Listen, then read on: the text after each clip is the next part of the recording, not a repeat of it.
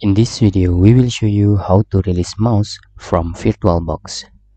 When you accidentally clicking the VirtualBox area in here, you can see there, your mouse is cannot exit from the VirtualBox.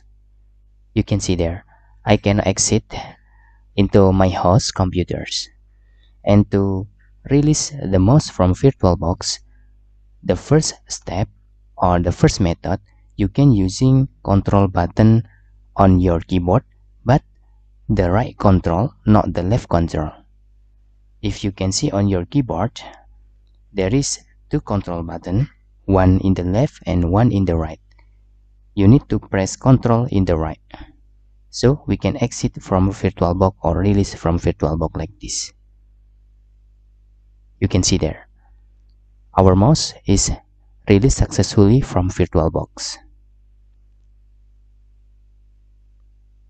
and the number second when you already release your mouse I suggest you you can just clicking the input and select mouse integration here. After you click this your mouse will quit easily or release easily when you are on the outside of your VirtualBox okay? And you don't need to press the right control again in here